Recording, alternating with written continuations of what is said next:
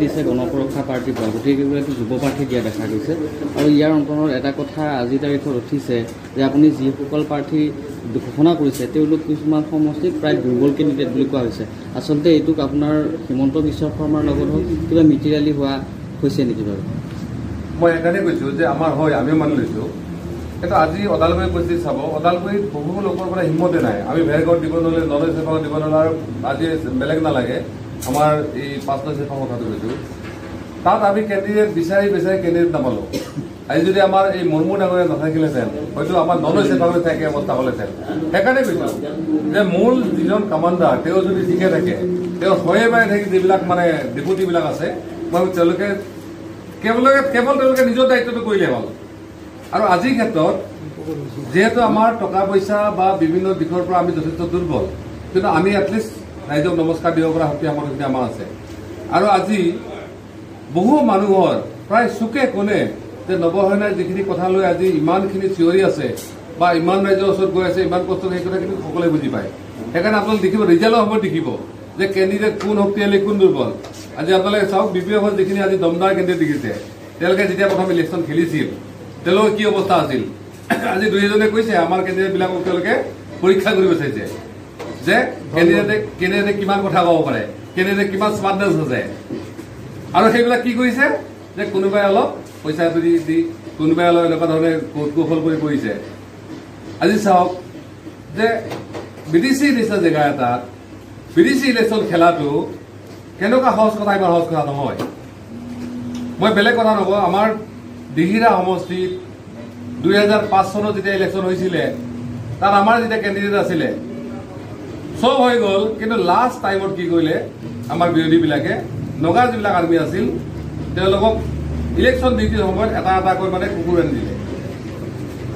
এইবিলাক কুকুৰটো পাই কেনে তেওঁলোকে পল মানে পলিং চেণ্টাৰবিলাক বাদ দিলে। লগে লগে গোটেইবিলাক ফিল হৈ গ'ল। আৰু আমাৰ যি দুই চাৰি লোক আছিল তাক মাৰি মেলি পিটি খেদাই পেলাইলে আৰু কিন্তু একে সময়তে আপুনি চিফ হোৱাৰ যিটো কথা উঠিব লাগে সেই সময়ত আপুনি প্ৰমোদ বড়োৱে পুনৰ চিফ হ'ব এই প্ৰসংগটো কিয় আনিছে? এইকাৰণে আনিছো যে ৰাইজে যাতে ভুল নুবুজে কাৰণ প্ৰমোদ চিফ হ'ব দুই হাজাৰ পঁচিছত। বিছত নৱসেনা চিফ হ'ব। গতিকে আমি পঁচিছত তেওঁক ৰাখিছো এইটো কাৰণে যে আমিও বিচাৰো যে বড়ো বড়ো সংঘাতটো সমাধান হওক। আৰু মই ভাবো আমি যদি নৱসেনা নেতৃত্ব এবাৰ যদি চৰকাৰ হয় তেতিয়াহ'লে এইটো সমস্যা সমাধান হ'ব। কাৰণ আমিতো ট্ৰাইবেলৰ অধিকাৰ হৰণ কৰা কথা কোৱা নাই তেওঁলোকৰ অধিকাৰবিলাক শেষ কৰাৰ কথা কোৱা নাই। আমি কিছু ইয়াত থকা বাকী যিবিলাক জাতি জনগোষ্ঠী আছে তেওঁলোকৰ অধিকাৰবিলাক সাব্যস্ত হওক। তেওঁলোকৰ প্ৰাপ্যখিনি পাওক তেওঁলোকৰ মৰ্যাদাখিনি পাওক আৰু সেইটো কিন্তু প্ৰমোদৰে কৰিব নোৱাৰে। কাৰণ জনজাতিকৰণৰ সময়ত দেখিছিলে যে তেওঁ লগে লগে বিৰোধ কৰিছে। শেষ মুহূৰ্তত যেতিয়া জনজাতিকৰণ হওঁ হওঁ অৱস্থা তেতিয়া যেতিয়া প্ৰমোদ বড়ো ডাঙৰে বিৰোধ কৰিলে হাগ্ৰামাই বিৰোধ কৰিলে প্ৰমীলাই বিৰোধ কৰিলে চন্দনে বিৰোধ কৰিলে তাৰপিছত আৰু জনজাতি নহয়। সেইকাৰণে আমি গোটেই বিৰোধী শক্তিখিনিক আমি যাতে ক্ষমতাৰ পৰা বাহিৰ কৰিব পাৰোঁ। কাৰণ ক্ষমতা নাথাকিলে এইটো কোনো কাৰণে সম্ভৱ নহয়। আৰু মই চিঞৰলি কৈছোঁ যে আমাৰ এনেকুৱা বহু কেণ্ডিডেট আছে যিবিলাক মুখেদি নামাতে। কিন্তু আজি যদি পোন্ধৰ বিছ বছৰ ধৰি কিন্তু এই অবৰ সংগ্ৰামখনৰ এটা মূল স্তম্ভ হৈ আছে। সেইকাৰণে মুখখন দেখিয়ে মানে চেহেৰাটো দেখিয়ে ৰাইজে যাতে এইটো কথা নকয়। কাৰণ দুই হাজাৰ চৈধ্য চনৰ পোন্ধৰ চনটো এনেকুৱা আছিলে। মই সৰু উদাহৰণ দিওঁ আমাৰ বনমালী ৰাভা। তেওঁ আগত যেনেকুৱা আছে আজিও তেনেকুৱা আছে। আজিও মানুহে কয় যে তেওঁ স্মাৰ্টনেছ নাই তেওঁৰ মানে মুখৰ কথা নাই। কিন্তু তেওঁক কুচিকা সমষ্টিৰ মানুহে তেওঁক কিন্তু ভোট দিছিল। আৰু মই এই কথাটো কৈছো যদি তেওঁলোকৰ ইমান ভয়ে নাই যদি তেওঁলোকে ভাবিছে আমাৰ দুৰ্বল কেন্দ্ৰীৰে প্ৰমোদ বৰাই দুটা দুটা সমষ্টি ইলেকশ্যন দিছে। হাগ্ৰা ভাই দুটা সমষ্টি ইলেকশ্যন দিছে কিহৰ দৰকাৰ আছিল তেওঁলোকৰ? সেইকাৰণে দুটা নহয় চাৰিটা সমষ্টি খেলা আহিব কোন হ'ব মূল প্ৰতিদ্বন্দ্বী আপোনালোকৰ পোন্ধৰ বছৰে যিটো দল শাসন আছিল হৈ উঠিছে। আজিৰ দিনত বি টি চি ইলেকশ্যন জিকাৰ কাৰণে এঘাৰৰ পৰা বাৰ হাজাৰ ভোট লাগে। আমাৰ প্ৰায় বা সমষ্টিতে পোন্ধৰ হাজাৰতকৈ ওপৰত ভোট আছে। চব মানে কাটা কাটি হোৱাৰ পিছত।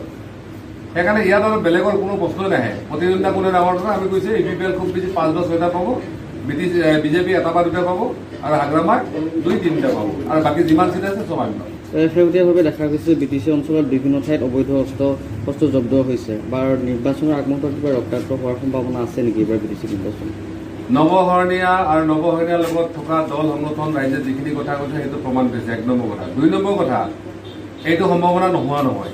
কিন্তু অলৰেডি আমি হোম মিনিষ্টাৰৰ পৰা চেণ্ট্ৰেল হোম মিনিষ্টাৰৰ পৰা আৰম্ভ কৰি ডি জি পৰা চবলৈ কথা পাতিছোঁ।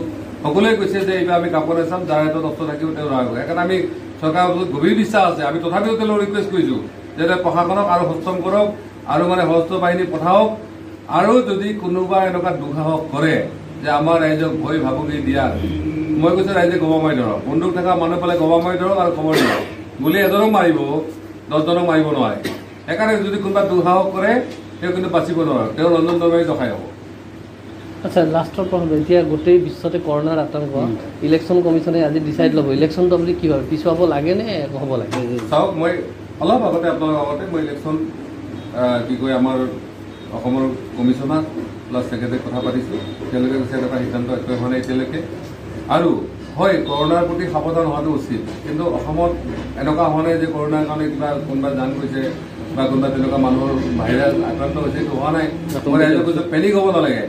আৰু বিশেষকে ইমানখিনি কথা কৈ থকাৰ পিছত সচেতন হোৱাৰ পিছতো আমাৰ বিজেপিৰ মন্ত্ৰী তাত কি কৈছে দল বল লৈ তেওঁলোকে নমিনেশ্যন দিব গৈছে। তাত মানে কি কয় বি পি এফৰ মানে ঢোল তাল বজাই মানে হাজাৰ হাজাৰ মানুহ তেওঁলোকে গৈছে। মই ভাবো এই ধৰণৰ ৰাজনীতিবিলাকেহে আচলতে ৰাইজক বিভ্ৰান্ত কৰাটো উচিত। হয় কৰোণাৰ কাৰণে চবে সাৱধান সচেতন হোৱা উচিত। ইলেকশ্যন যিহেতু কেৱল এটা এনেকুৱা বস্তু নহয় যে ফট মানে বন্ধ কৰি দিব পাৰিব ইমানখিনি প্ৰচেছ হৈ আছে ইলেকশ্যন বন্ধ কৰা মই ভাবো সুবিধাটো নাই। হয় এটা ষড়যন্ত্ৰ চলি আছে। এইটো ক্লিয়াৰলি কৈছো যে যদি কৰোণাৰ কাৰণে ইয়াত কিবা ভাইৰাছ হৈছে আক্ৰান্ত হৈছে কাৰোবাৰ হেৰি হৈছে তেতিয়া কৰক। কিন্তু কেৱল কৰোণাৰ নামত যাতে কাৰোবাৰ কথা শুনি নকৰে। হয় এটা ষড়যন্ত্ৰ চলি আছে আমি গম পাইছো। ষড়যন্ত্ৰ চলি আছে কাৰণ অলৰেডি ক্লিয়াৰ হৈ গৈছে পিকচাৰ ক্লিয়াৰ যে এইবাৰ বি টি চি ইলেকশ্যনত তেওঁলোক হাৰিব। আমাৰ আগত যি আছে তেওঁ হাৰিব তেওঁলোকে এইটো বচাৰ কাৰণে। ইয়াৰ আগতে তেওঁলোকে এটা চেষ্টা কৰিছিল। তেওঁলোকে বি টি চি কাউন্সিলৰ সলনি বি টি আৰত এটা ইণ্টাৰিম গভমেণ্ট বনাই বি টি আৰ ফুলফিল হোৱাৰ পিছত তেওঁলোকে ইলেকশ্যন কৰাৰ কথা আছিল। কিন্তু তেওঁলোকে আমাৰ ঘৰত নোৱাৰিলে। আৰু এইবাৰ কৰোণাত ডকাইতি তেওঁলোকে চেষ্টাটো কৰিছে। সেইকাৰণে ইলেকশ্যন কমিশ্যন ভাৰত চৰকাৰ অসমত অনুৰোধ জনাইছো এনেকুৱা সিদ্ধান্ত যাতে নলয় হয়। যদি সঁচাকৈ ভাইৰাছ আক্ৰান্ত হৈছে যদি ক'ৰবাত নিহত আহোঁতে তেতিয়া আমাক ক'বলৈ একো নাই। আৰু এইটো অজুহাত লৈ যাতে এইটো নকৰে আৰু মই বিনম্ৰভাৱে অনুৰোধ জনাইছো। যে যিখিনি সাৱধানতা হোৱা এতিয়া আমি আপোনালোকক আমি হাত কি কয় হাত ধৰ কৰিছোঁ বা আমি মাস্ক পিন্ধিব লগা হৈছে যে আমি হয়তো মানে হেণ্ডশ্বেক কৰা নাই। গতিকে এই ধৰণৰ যিখিনি সাৱধানতা এইখিনি লোৱা দৰকাৰ আৰু ইলেকশ্যন কমিশ্যন মই এইটো বিনম্ৰ অনুৰোধ যাতে গেডাৰিংবিলাক তেওঁলোকে এলাউ নকৰে দৌৰ টু দৌৰ গৈ কেম্পেইনিং কৰক আৰু এইটো ফালে আমাৰ ভালো হৈছে কাৰণ তেওঁলোকে বাজেট দিছে সাত লাখ। আমাৰ ৰাইজক কোৱা হৈছে যে ছয় সাত লাখ টকাৰ বাহিৰে বাজেট যাতে এক পইচা বেছি নহয়। আৰু এই ধৰণৰ গেডাৰিং চেডাৰিংবিলাক বন্ধ কৰক। মই নিজেও গেডাৰিঙত যোৱা নাই। আপোনালোকে দেখিছে যে তেওঁলোকৰ যদি দুই হাজাৰ মানুহ গেডাৰিং কৰাৰ সামৰ্থ্য আছে নৱশৰণে ৰাইজক এটা দাগ দিলে দহ হাজাৰ মানুহ ওলাই আহে। গতিকে আমি দলবলৈ যাবলৈ আমি যোৱা নাই। আমি ক'তো এনেকুৱা গেডাৰিঙত যোৱা নাই। সেইকাৰণে আমি আমাৰ যিখিনি কথা আমি ঠিকে ৰাখিছোঁ কৰোণাৰ প্ৰতি আমাৰ যথেষ্ট মানে আমি সংবেদনশীল যাতে এই ভাইৰাছে মহামাৰী ল'ব নোৱাৰে সেইটো আমি সাৱধান হোৱা উচিত। আৰু হয় যদি ইয়াত ভাইৰাছ পোৱা গৈছে ইয়াতে তেনেকুৱা দুই এটা এক্সিডেণ্ট হৈছে তেতিয়াহ'লে তেওঁলোকে বন্ধ কথা আমাৰ ক'ব লগা নাই। কিন্তু কিছুমানৰ ষড়যন্ত্ৰত ভৰি দি যাতে এনেকুৱা ঘটনা নহয় এইটো কিন্তু আমি আগতে সকীয়াই দলে।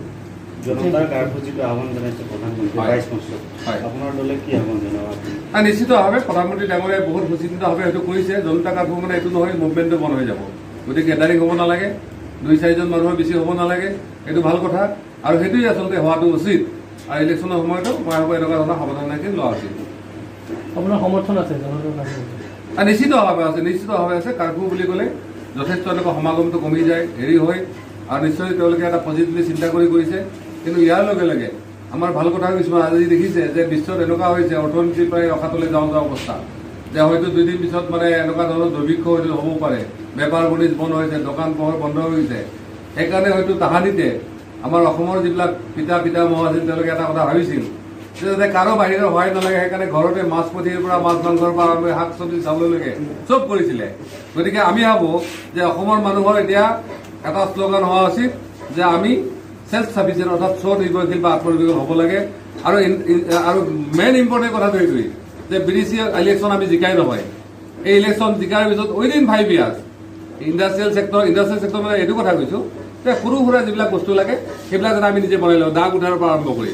ঠিক তেনেকে মাছ পুঠিৰ পৰা আৰম্ভ কৰি ফিচাৰীৰ পৰা আৰম্ভ কৰি একেলগে মানে ধান শস্যৰ পৰা আৰম্ভ কৰি ভেজিটেবললৈকে আমি যাতে বি টি চিৰ মানুহখিনি স্বনিৰ্ভৰশীল হ'ব পাৰোঁ আমি বাহিৰত যাতে ৰপ্তানি ৰপ্তানি কৰিব পাৰোঁ আমদানি যাতে দৰকাৰ নহয়। আৰু ইয়াত আমাৰ মেনিফেষ্টত আৰু এটা কথা আছে ঘোষণা পত্ৰত যে টুৱেণ্টি ফাইভৰ ভিতৰত টটেল যাতে আমি অৰ্গেনিক হ'ব পাৰোঁ। কাৰণ আজি বেমাৰৰ মূল হ'ল পেষ্টিচাইড বা কেমিকেল যিটো মানে সাৰ। সেইটোহে মেইন কথা। গতিকে এই কথাবিলাক গুৰুত্ব ৰাখি কিন্তু আমি কৰিছোঁ। আপুনি বাইছ মাৰ্চত ঘৰৰ পৰা ওলাব নে নাই? চাওক আমি ওলাম কিন্তু নাম মাত্ৰ আৰু আমাৰ আমাৰ লগত বেছি তেনেকুৱা মানুহজন কথাবিলাক ওলাব। সিদিনাই মই ভাবোঁ তেওঁলোকৰ আৰু কোনো বেছি প্ৰমাণ দৰকাৰ তেওঁলোক প্ৰথমে জেলত সোমাই যাব পৰা। যাব সেইকাৰণে কৈছোঁ যে অকল ইয়াত নহয় বিভিন্ন ডিপাৰ্টমেণ্টত য'ত বাজেট আছে এশ কোটি তেওঁলোকে পাঁচশ কোটি টকা কাম কৰে। গতিকে কোনো কাৰণে আৰু সেয়াই নহয়। আজিও খবৰ আহিছে। যে আমাৰ ইয়াৰ যিবিলাক ই এম চি এম বিলাক আছে তেওঁলোকে এতিয়াও বোলে বহুতক বেকডেটত চাকৰি দি আছে। সেইকাৰণে বি টি চিৰ সমগ্ৰ কৰ্মকাণ্ড আমি অহাৰ লগে লগে আমি কৰাই দিম। যাতে ইয়াৰ তথ্য উদ্ঘাটন কৰিব পাৰে আৰু আমি সেইকাৰণে মিত্ৰ চৰকাৰক কৈছো যে তেওঁলোকে হাগ্ৰামা মহিলাই বলি পঠা বনাই তেওঁলোকে বাচিলে নহব। একেলগে হাগ্ৰামা মহিলাই ডাঙৰীয়া অপকৰ্মখিনিৰ তেওঁলোকে কিন্তু তদন্ত কৰি তেওঁলোকক যাৱতীয় ন্যায় দিয়া ব্যৱস্থা কৰিব লাগিব। আৰু বি টি চি ৰাইজৰ কাৰণে আজি মই কোৱা কথা নহয়। প্ৰমোদ বা উষাগোহাঁই ডাঙৰীয়াই কৈছে যে বি টি চিত আচলতে কৰাপশ্যনৰ কেছটো কেনেকুৱা? বি টি চিত তেওঁলোকে দহ লাখৰ কাম কৰে অৰ্থাৎ দহ লাখ টকাৰ কিবা কৰে আচলতে সিহঁতে পঞ্চাছ লাখ টকাৰ কাম কৰে। অৰ্থাৎ এটা স্কীমৰ লগত পাঁচটা বা দহটা স্কীম তেওঁলোকে একেলগে কৰা দেখায় গতিকে সমগ্ৰ বি টি চি কাণ্ড মই ভাবোঁ সমগ্ৰ ভাৰতৰ যিবিলাক ক'ৰবাত দুৰ্নীতি আছে নহয় নহয়। দহ লাখ টকা দুই লাখ টকা তিনি লাখ টকা দুৰ্নীতি কৰে। কিন্তু ইয়াত য'ত দহ লাখ টকা স্কীম হ'ব লাগে তেওঁলোকে হয়তো মানে এক কোটি টকা তেওঁলোকে স্কীমটো কৰে অৰ্থাৎ এইফালেতো দুৰ্নীতি আছে সেইফালে দুৰ্নীতি আছে। গতিকে দুৰ্নীতি পাৰ্চেণ্টটো আপোনালোকে ভাবক কিমান হ'ব পাৰে। আপোনালোকে কিমান সময় আসন পাব? আজিৰ দিনত আমি থাৰ্টি ওৱান টু থাৰ্টি টুলৈকে আমি আশা কৰোঁ। বিজেপিক ৰাইজে কিয় ভোট নিদিব? মই আপোনালোকে কৈছে বিজেপি কিহৰ কাৰণে ভোট দিব? যে বিজেপি আচলতে ইয়াত কৰিব পাৰে কি কণ্ডিশ্যন আছে? কংগ্ৰেছক কিহৰ কাৰণে ভোট দিব? এ আই ডিফক কেলে? এ আই ডিফে যোৱাবাৰ চাৰিটা চিট জিকিছিলে চাৰিটা বি পি এফত গ'ল। আমি চাচাক অৰ্থাৎ আজমল চাহাবক আমি আগতে কৈছিলো যে আপুনি কেণ্ডিডেট দিছে বি পি এফক সহায় কৰাৰ কাৰণে। আমাৰ কথাটো প্ৰমাণ হৈ গ'ল।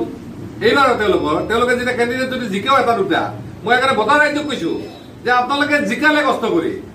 কিন্তু আপোনালোকৰ ভোটৰ ভেলু নাৰাখি তেওঁলোকে কালি তেওঁলোকৰ লগত জমা হ'ব। অৰ্থাৎ যি বি পি এফ হওক যি ইউ পি পি উৎখাত কৰাৰ কাৰণে আপোনালোকে ভোটটো দিছে চান্দা কৰিব। দ্বিতীয়তে কংগ্ৰেছে বিগত দুই হাজাৰ তিনি চনৰ পৰাই দুই হাজাৰ পোন্ধৰলৈকে কিমান বাৰ বছৰ নে? বাৰ বছৰ বি পি এফৰ চৰকাৰ বনাইছিলে। বি টি চিৰ গোটেই সমস্যাখিনি অস্ত্ৰৰ পৰা আদি কৰি দুই হাজাৰ বাৰত মাইনৰিটি হত্যা পৰা আৰম্ভ কৰি গোটেই ঘটনাখিনি হৈছিল। তেওঁলোকে কিন্তু যিখিনি ষ্টেপ ল'ব লাগে নললে অৰ্থাৎ কংগ্ৰেছৰ ইয়াত এনেকুৱা কাম একো কৰি থকা নাই যে কাৰণে তেওঁলোকক ভোট দিব লাগে। দ্বিতীয়তে বিজেপিৰ কথা আহিল।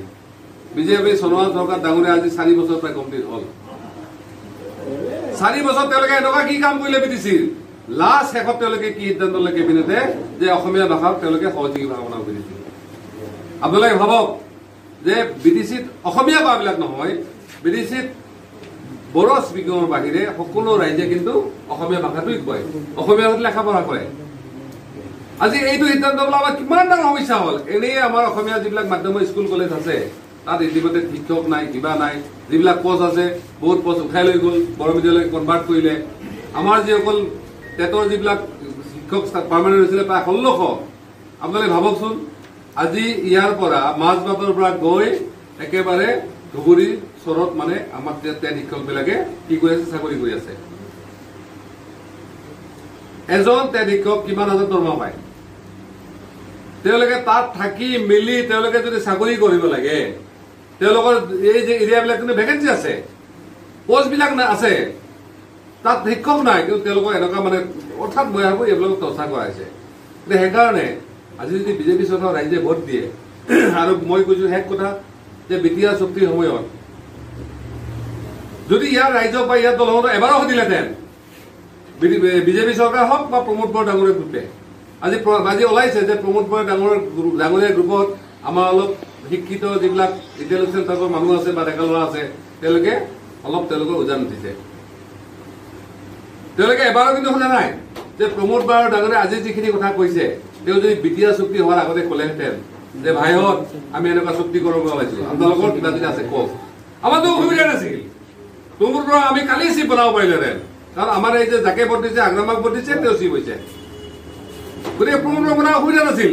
কিন্তু তেওঁলোকে বিটিআৰ কৰি ৰাখি তাৰপিছত এইখিনি কৰিব এইটো মানি লোৱা কেতিয়াও সম্ভৱ নহয়। মই সেইকাৰণে কৈছো যে প্ৰমোদ বৰদলৈ চিফ হ'ব পাৰিব। কিন্তু তেওঁ সাধনাৰ দৰকাৰ আছে। তেওঁ আমাৰ ৰাইজক বিশ্বাসযোগ্য বিশ্বাসযোগ্যতা আনিব লাগিব যে হয় তেওঁ চিফ হলে প্ৰতিটো জাতি জনগোষ্ঠীৰ খেয়াল ল'ব। কিন্তু আজিৰ দিনত মই ভাবো সেইটো প্ৰমোদ বৰদলৈৰ কাৰণে সম্ভৱ নহয়। সেইকাৰণে কৈছো যে বিজেপিক যদি ভোট দিয়ে তেওঁলোকে আচলতে নাটক কৰি আছে। এফালে চেণ্ট্ৰেলত চৰকাৰ আছে ষ্টেটত আছে এফালে বি টি চিত তেওঁলোকে বেলেগ বেলেগ খেলিছে। আৰু আমাৰ এই যে ক্লিয়াৰলি বুজি পাইছে যে ইয়াত কেৱল নৱসৈন্য নৱসৈন্য টিমক তেওঁলোকে হৰাৰ কাৰণে এইফালে নিদি কৰিছে বেলেগ একো নাই। ঠিক আছে